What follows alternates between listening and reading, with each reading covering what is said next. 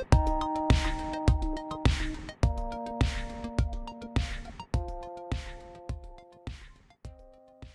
welcome. Woo! It's all. All right. Sweet lanyard. Yeah, sweet lanyard, isn't it? Let's turn it around. Let's make it work. All right, so uh, let's start with with uh, and we, and we'll have room for questions at the end for you guys. Chelsea was like, we should have like music bringing us up. so let's start, uh, Dan, with uh, with the. Um, the origin idea for this. There was not, you know, there's not like in the history of TV, there's not a whole lot of sitcoms based around cops. I mean, Barney Miller, kind of the, the most famous one. How did you come up with this idea and how did you get it started? Um, well, I created it with um, Mike Schur, who uh, also created Parks and Rec. I don't know if anyone here is a fan. Um, and Mike had, uh, um, and so Mike and I had worked on Parks and Rec. Actually, Chelsea was a writer at Parks and Rec for a couple of years. Kind of thought that would get a woo. No applause, no applause, no. And uh, we decided we wanted to create a show together, and we wanted to uh, set it in a world um, where you could really have all sorts of different characters interacting, both as the regular cast, and they would interact with all sorts of interesting people. And so, what we really liked about the police, and especially the police in Brooklyn, was if you look at uh, uh, New York City Police Department, it's just it's relatively diverse, and it's made up of people who look and and have who sorry we had a lot of barbecue last night in austin and my brain is now addled in brisket brisket Giggle pig. what did you say Giggle pig, giggle Giggle pig. pig. It's a show reference. Woo! Um, no, so we really liked the idea that we could get. Um, it, it meant that we could cast the funniest people. We could just sort of have a, a blind audition. If you do a family, you sort of choose where your family is and what they look like, and that limits who you can have in your family. And if you do a show set in a workplace, you can really open it up. And then by putting that workplace in Brooklyn, we felt like Brooklyn is such an interesting place right now where you have kind of old world Brooklyn. Um, whether that's like you know Ukrainian a Ukrainian neighborhood or like a Hasidic neighborhood, and then right next door you have hipsters moving in, and you have stroller moms, and within the actual boundaries of the precinct, the 9-9 isn't a real precinct. This is not a documentary, but it follows the borders of I think the 7-8. I could be wrong. Don't quote me on that, but um, and in within that precinct, there's Prospect Park, which is very much like Central Park. Um, and then there's also a warehouse district, and there are super fancy uh, brownstones with that celebrities live in. So like you, I just kind of felt like you could you had a sampling of the whole world. That's great. So, and, and when it comes to casting, you were talking about you can't pick your family. Wouldn't that be awesome if you could? But you can't. So, when you were making these core characters, who did, who did you uh, dream up first, and, and how did that come about too? Well, I was just thinking it'd be funny if you started with Scully. yeah. we knew Scully had to be in it, and then that led to Hitchcock. Then you go to Andy Samberg. And for two years, we pitched Scully and Hitchcock. And somebody was like, you know what? Maybe there should be other characters. Um, no, we we um, we started with with Andy's character. We didn't have An- Andy wasn't on board at that at that time. He wasn't not on board. It wasn't. it's like, it's like I will never work with them. He just didn't know about it.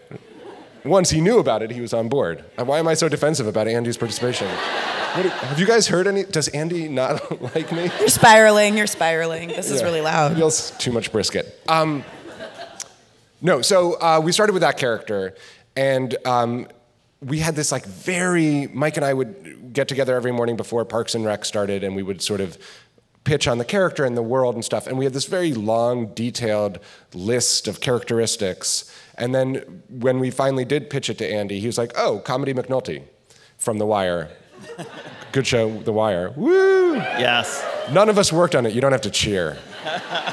um, and so, as a result, like, so that was sort of the the, the starting point. And then um, we wanted there to be, and then we we worked with um, this amazing casting director, Allison Jones. There was a great profile of her in the New Yorker, which I totally recommend reading. She's really interesting, and she casts all of Judd Apatow's movies, and she cast um, The Office and Curb Your Enthusiasm, and she kind of finds all these interesting people, and she really helped us populate the world.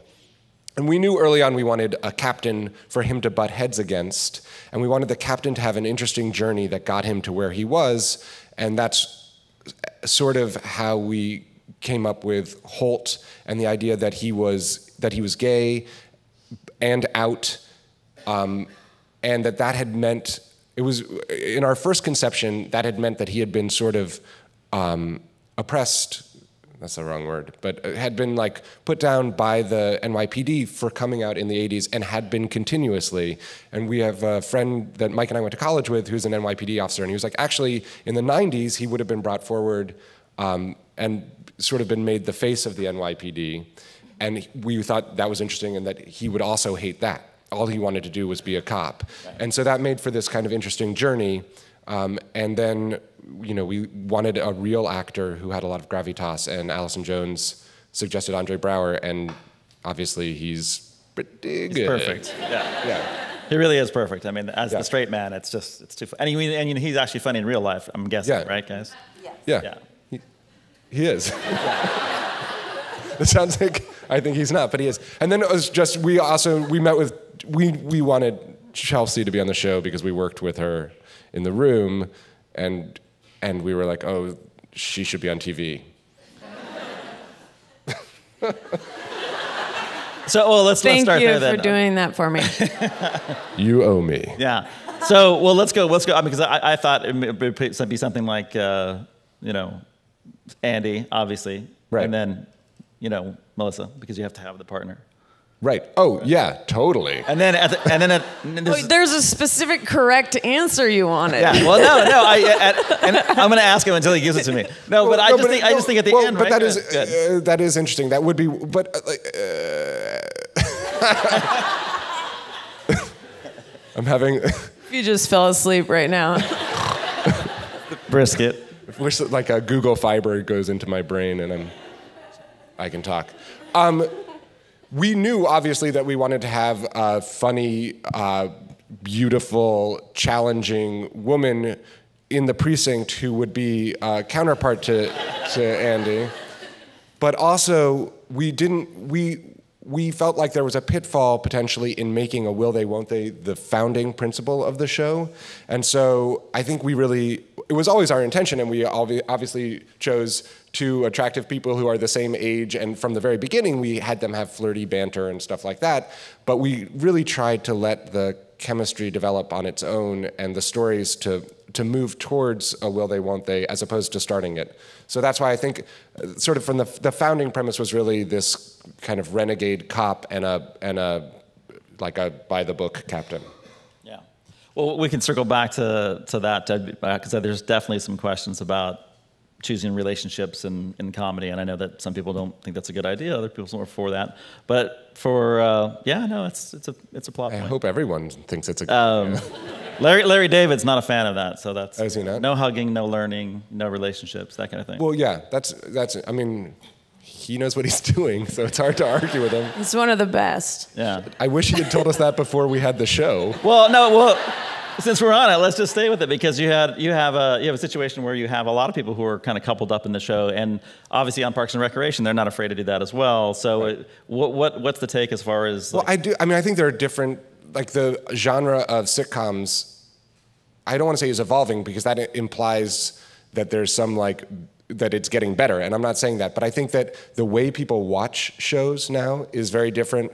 Um, and that, to some extent, also influences how much arc there can be in a show and how much your audience wants the characters to learn and change. I think that, you know, when Seinfeld was on, obviously it's an amazing, perfect show. You'd watch it once a week. You wouldn't binge watch it. You wouldn't save five of them on your DVR. And it was like you dropped back into the world and you'd see them. And it was fun to see Kramer acting like Kramer and Seinfeld acting like Seinfeld and George acting like George. I know all of their names. Um, and the and Veep also. no, Elaine, come on, she's amazing, national treasure for reals. But um, but I think now audiences want to see see that growth, and I think if you were to watch our show, if you were to DVR our show and watch it, and Jake made the exact same mistake every episode, I think you'd, you'd stop watching. I mean, the, the converse of that is that I think you can overcorrect and you can make it so that people just learn everything and then they've learned themselves out of comedy. And that's tough. I mean, that's the thing we fight in the room. It's like, what is a nuance on something we've done? What is doing it again, which is bad? And what is like, oh, that character can never do that again, but now they'll never be funny again? I mean, in real life, people don't change that much. At least my wife doesn't. well, is there, is there a danger?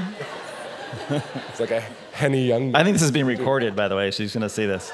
Um, is, is there a danger in bringing two characters together? Uh, and then, because you know, we had the tension of those two trying to get together for the first season. Yeah, clearly one of them has this, to die. We had this Gina Boyle thing last year. Yeah, no, no. It, there is.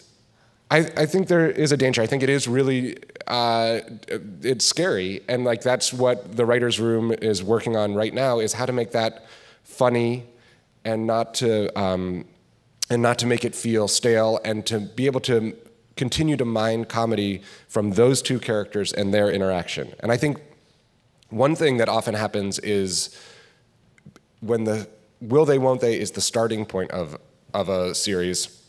Although the best example of this not being the case is Cheers, and that's the most ex- famous example. So put Cheers aside. But there are times where you basically imply that your two leads are star-crossed lovers. And if you imply that they're star-crossed, I think it can be difficult because when you put them together, it begins to feel like they can't argue and they can't have hiccups. And I guess you haven't seen my relationship. a lot of arguing, hiccups. Just kidding, we're great. I'm gonna stop trying to interject. No, interject. I'm really curious about your relationship. I think we all are. But uh, so I think it's establishing a pattern early on that, that, that they can be together or not together. I don't know what happens. But that either way, it'll continue to be funny. It's, it's not like they'll, they're together now and they can't argue and they're just a unit, you know? And Melissa, did you know that this was the direction it was going to go into from season one or, or not? Nope. she had more brisket than yeah. I did. I had a lot of brisket last night. Um, I did not. I mean, I knew that potentially was always going to go there, um, possibly when we first started. Um, but it was just, you know, like every script you get and it moving a little forward. And, and I really, I'm, should not talk anymore. oh. Well, let's let's keep going though. Uh, so as you as but I didn't know. I didn't know like what, and they didn't either. Like you know, we tried to play it by ear. We tried to make it. Uh, we tried to keep our finger on the pulse, keep the thermometer in the mouth. What's the, the proper finger on the pulse? Why would the, the thermometer be in the mouth? Exactly. And then, and, but as we but as we end here, as you saw the finale, I mean, you've brought them to an interesting place. I mean, they're clearly now going to be a thing, right? So. I mean, I, yeah, we're not. There, uh, that cleared things up. No, thank you. And uh, I'd like to see that written out in a transcript. uh, yugada, yugada, yugada. um, yeah, the first episode will not be what we call a yank. It's not like we're going to ignore what happened, but I don't think, my, my only point is that it's not smooth sailing from here on out. You know, they have to, they work together, they're different personalities, they kissed in a moment of trauma and now they have to figure out sort of what's happening. Mm-hmm. And how do you, when, when you put things together, like when did you guys come up with the idea that uh, the Gina and Boyle thing would happen? There's so much on-stage chemistry between the two of them. it was like, when won't it happen? no, um, well, Gina was always so hilariously cruel to Charles and I don't remember, it was a few weeks beforehand, but it was immediately our favorite part of that finale. I mean, it was just so fun to think of them waking up and sleeping together. And then we also knew as soon as it was pitched, it was like, oh, and then in the premiere, they'll also wake up in bed screaming. And then we had a, then for a while it was going to end every episode. we are like, we can't do that. Um, and so and then it was it was our our and with that also like we wanted to make it clear they're not star-crossed lovers that you know it, we weren't going to try and like squeeze out a, a loving healthy adult relationship. Um, and so but I, yeah yeah. Well and and uh, chelsea when we talked about the casting early on um, you it's got to be the best job. I mean, because like what does gina do? I genuinely do a lot of texting. I swapped my real phone in for the prop phone. and because our computers are not active, at least not yet. nope. Get internet on the computers. Because apparently the office they had computers that weren't active, and then they eventually put them on, and everyone just did online shopping all day.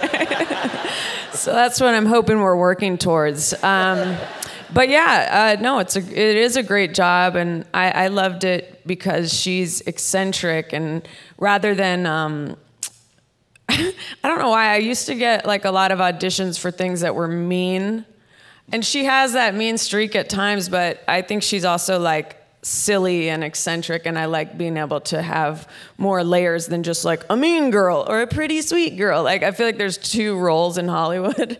and so it's fun to be someone who's marching to the beat of their own drummer, so to speak. A lot of colloquialisms up here today. Well, when you when the show gets put together, and that's kind of what I was getting, when you're when you're building this from scratch and you're creating these characters that are not your family, and you obviously Amy and Jake and Holt are, are there, and and Gina seems like uh, you know it's some it's a character that you can just because Chelsea's so funny, you can throw her in there and say, okay, we'll just let her write her own lines, or we'll write her lines, and, and she just has to be. I write all my own lines. just kidding. Is that true? No. What's crazy no, is many like, very funny ones she does. But what's crazy is that the scripts, like sometimes a line is written like for. I always think of the one where it's like, I go like, my dream is to just answer the phone like, uh huh or something. That was the line, right? And it's yeah. like it looked like so weird written, but it, it, sometimes the lines look like something that would be improvised when you read it, and like they totally make sense, but they look so um, garbage.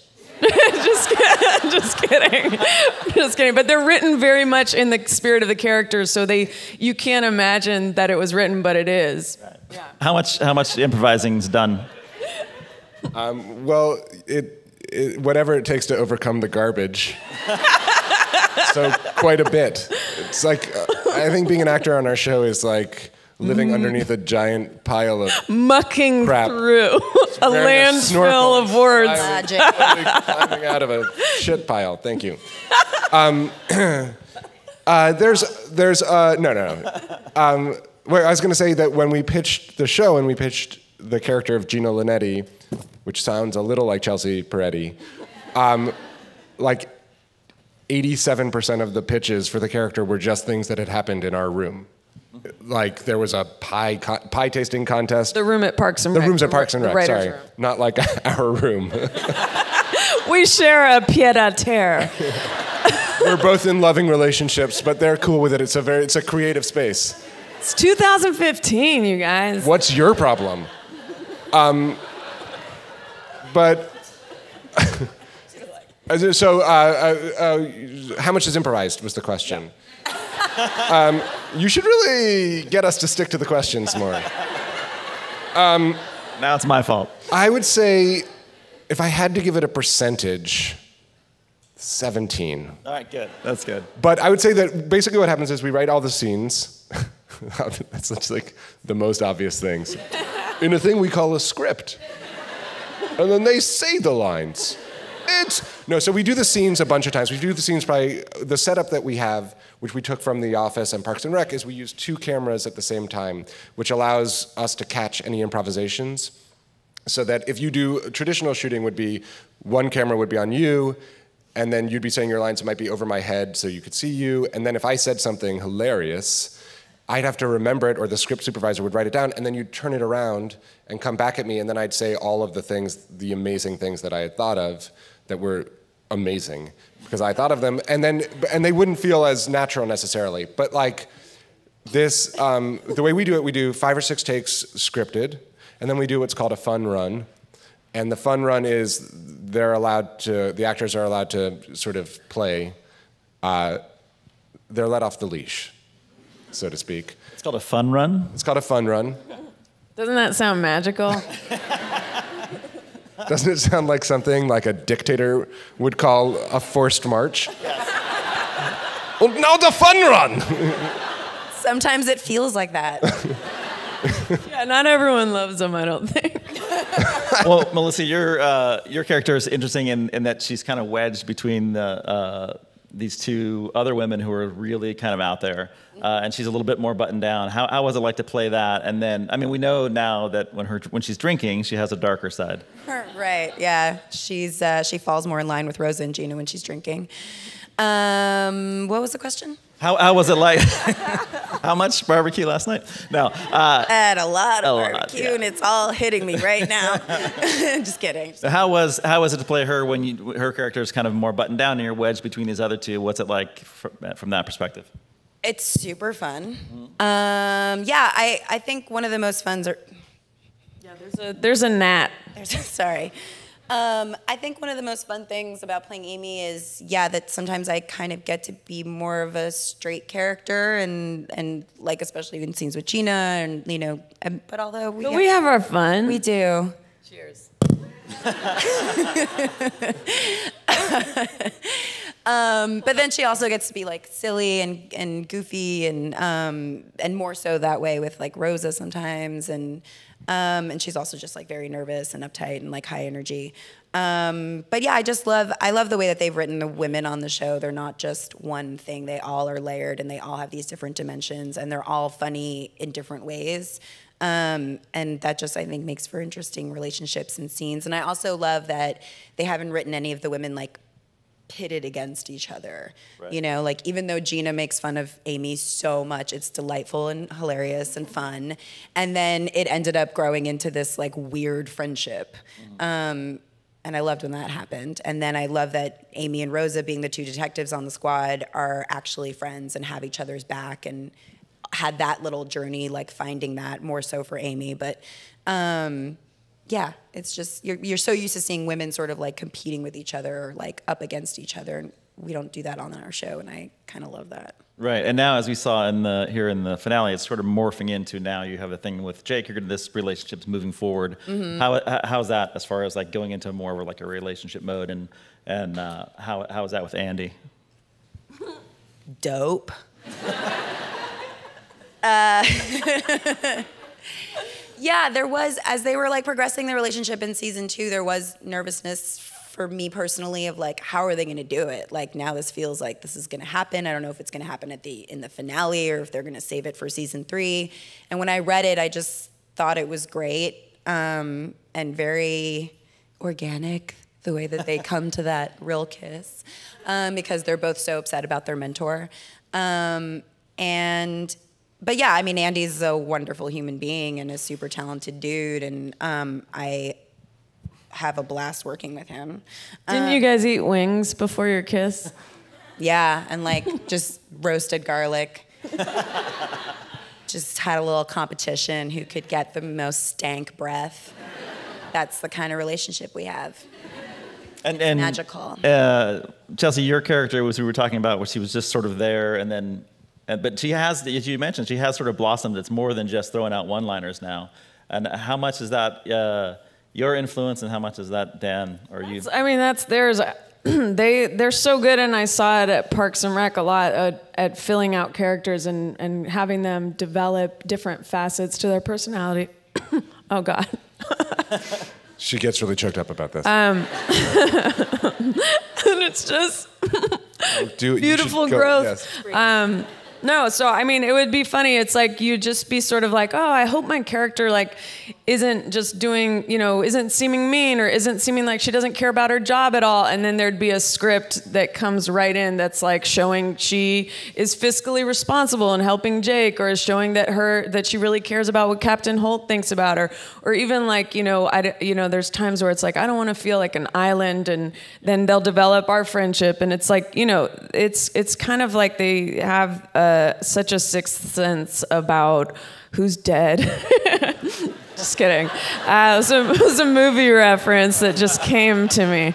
But, um, they really know when to when to deepen things, and and they're so good at moving around throughout the cast and and dividing that up. There's so much written now about television shows immediately after every episode that I think there's so there's there is just like a kind of a lack of patience, and I think as a result, like it was always our intention for Gina to be a well-rounded character, but I think that you know it, with we have a lot of characters, and I think it takes time. It just takes time to fill everyone out and to give everyone a story that kind of shows how dimensionalized they can be.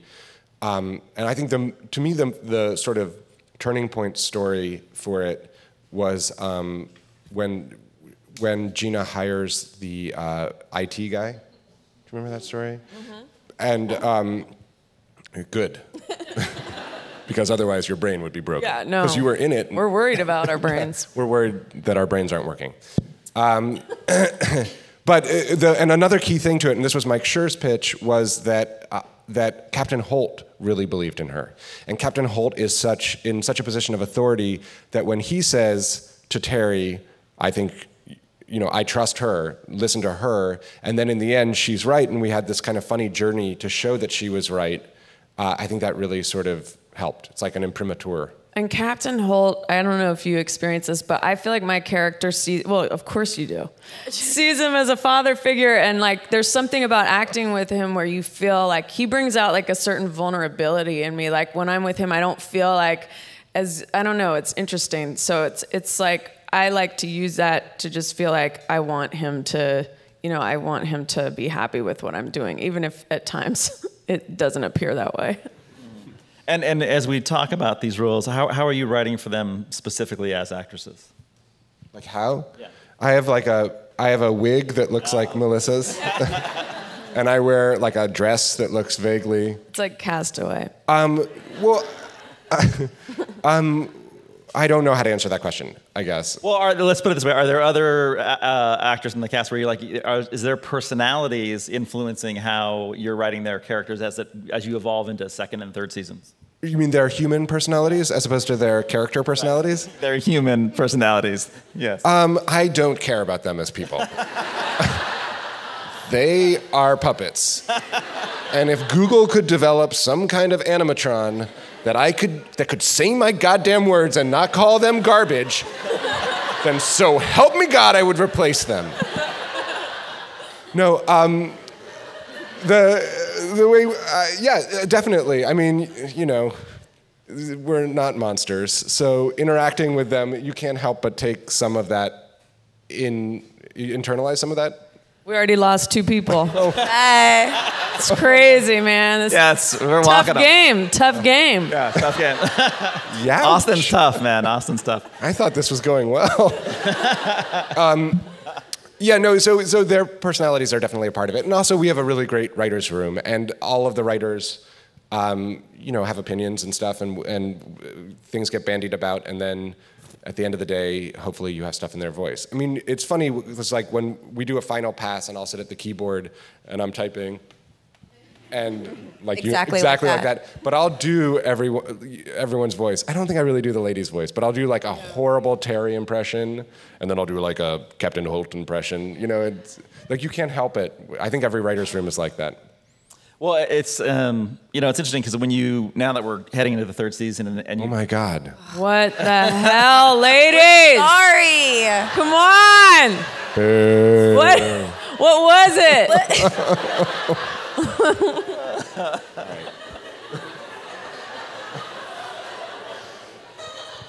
yeah, that's yeah. Uh, no, one's gonna want to do that again. You might as well have walked down front. but can you just give us one piece of constructive feedback? Do you have notes? But uh, of what? Of, of people what? you love more. Oh my goodness! No, Thank no, no, no, you. We appreciate We're 100% it. Thank you. We don't joking. need to. We, we, we, they deserve a round of applause. Yes, thank you for leaving. younger. If anyone else leaves, you get that treatment. no one's gonna leave. Trust me. Uh, that's kind of nice. They were here for an hour. How, yeah, no, that's yeah. that is. We're lining oh, up. No.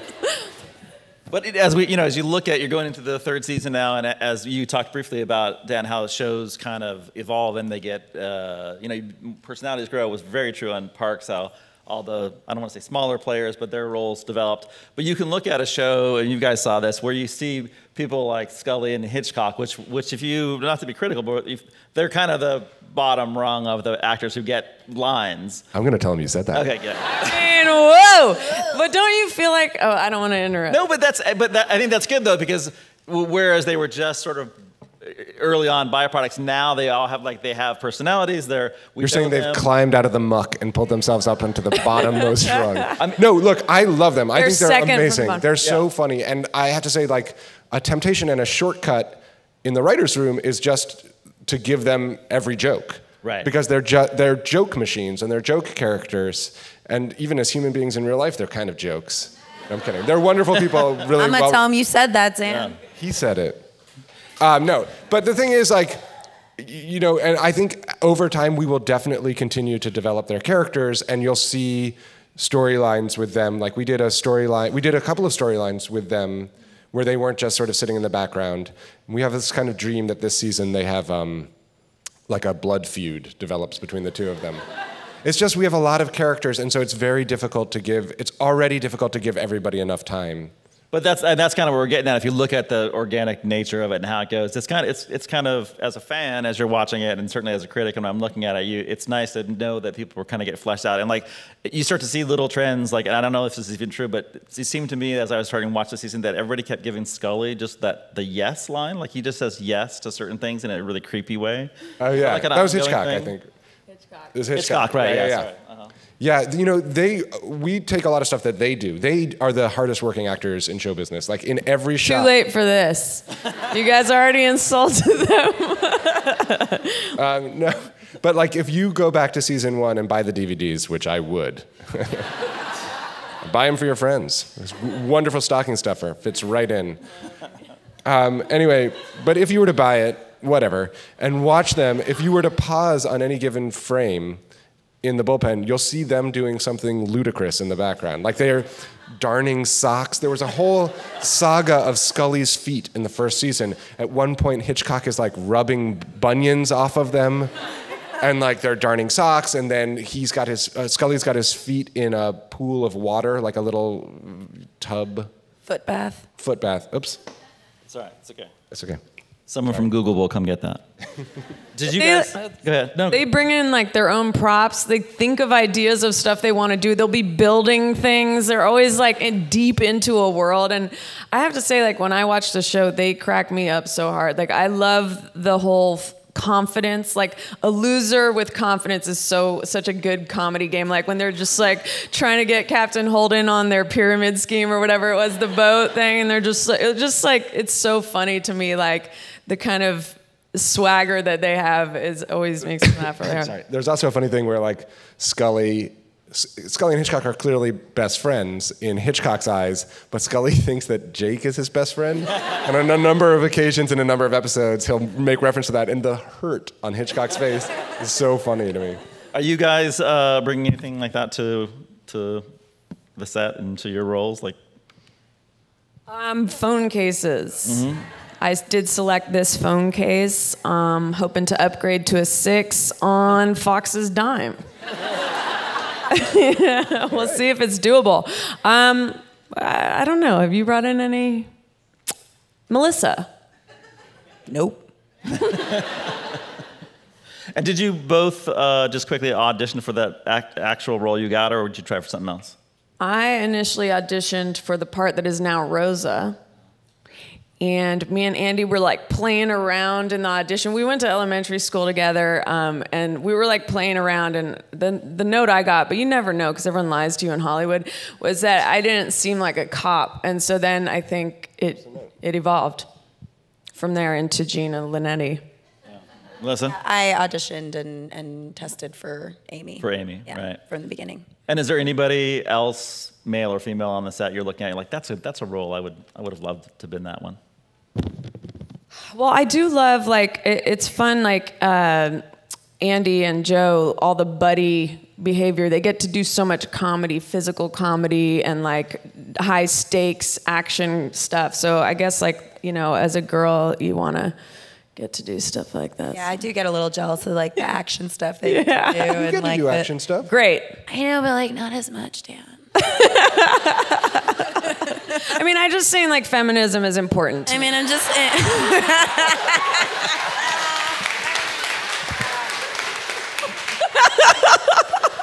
I just hate So see fired. I would just hate to see a pretty cop hurt herself. I'm. I was playing. It's a game. Boo! Boo! All right, more. F- Dan, you want anything else? Yeah. You want to add on to that? Dan, who would you be? Terry. right now, my pecs are bouncing up and down. You just can't tell. Well, I, I want to throw it out to the to the crowd to ask questions in a minute, but I just wanted to ask one thing because you know one of the things that you're doing, which is not you don't see it a lot in in sitcoms, is you've you're you're making it almost not serialized, but we we ended on a cliffhanger, right? So next year is undecided about who's going to be the captain, and so how is that in the writers' room when you're moving? And I'll, again, get back to the back to Amy and Jake getting into a relationship. You're moving all these pieces around. How is it? uh, how is it to write something that's more seri- serialized rather than just having static characters that you put in scenes that never change? It, it's it's it's a double-edged sword because on the one hand, as I said before, like it's really difficult if people start becoming self-aware and maturing a lot as characters. You sort of lose their comedy conceit. You know, like if Michael Scott realized in season one that he was like trying too hard and should just be an appropriate boss and like let people come to him, then the comedy would be gone. I mean, he, you know, and, and that is a show where people learn stuff. So I'm not trying to in any way denigrate that show, but um, so that's the one hand. That that is difficult. And on the other hand, serialized stuff is a little bit easier because one story leads to another story. Like we know now that in the premiere we have to introduce a new captain and we have to deal with Jake and Amy. so like that aspect of it as a writer is really nice. Like it's very tempting to do an arc where it's like they're gonna bust, you know, the Giovisi crime syndicate, and it's like an eight-step thing. Yeah.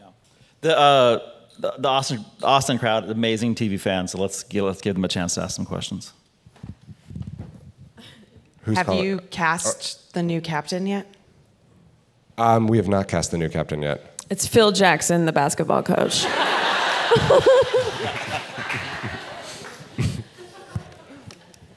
Thank you. Um, for the exception of like Elaine from Seinfeld and Mary Tyler Moore, how do you feel about the trope of women always getting pregnant at like the end of series?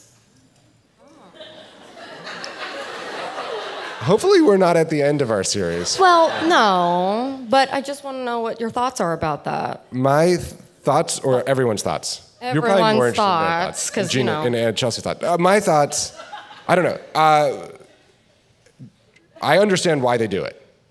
They do it because it's a big plot move. I mean, like it, it, like just from a perspective of being in a writer's room and like often at the end of a series, you've gotten your two leads together, so there isn't a move on that in that department, and and uh, so that is from that perspective, I think a, a, like a very sensible thing.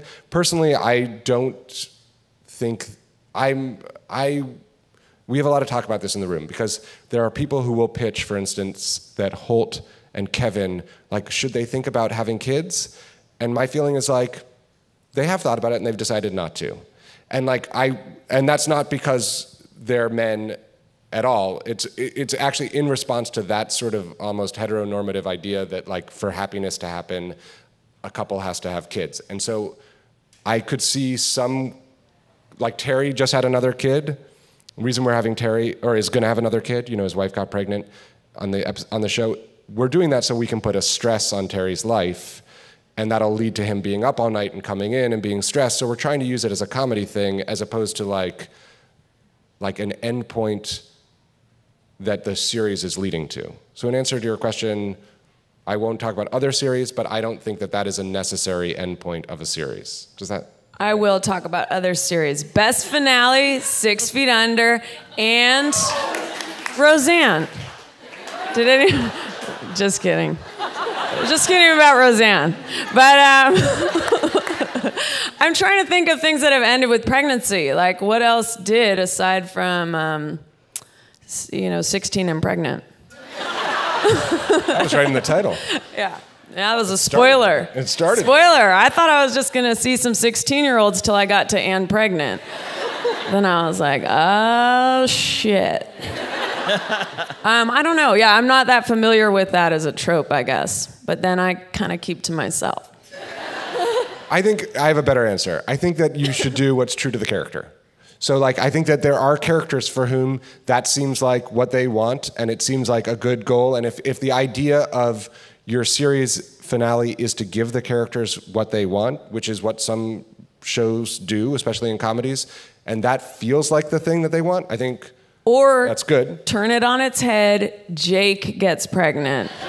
Done. That's our final what- end game. Junior No, but I think it's bad if it's forced on a. Uh, if you have a couple and it doesn't seem like that's the thing that they want, then that seems forced in some capacity.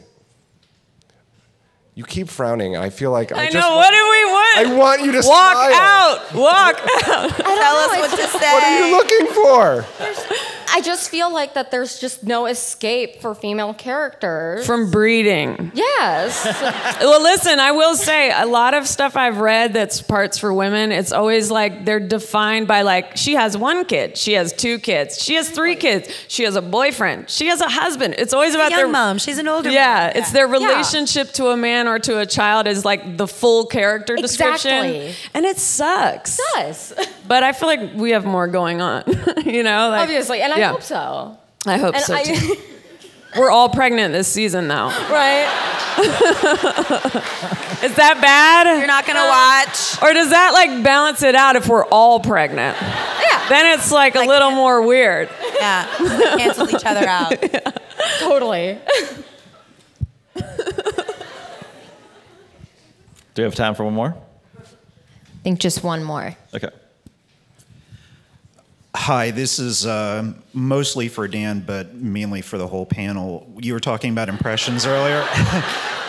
Not sure you know what. Trying to do the math. you were talking about impressions earlier. Uh, how did you do an impersonation of Andre Braugher's take of Velvet Thunder, and has the rest of the panel tried that? I feel like I'm destined to bomb if I j- try to imitate him. But uh, let's just say I did it exactly the way he did it later.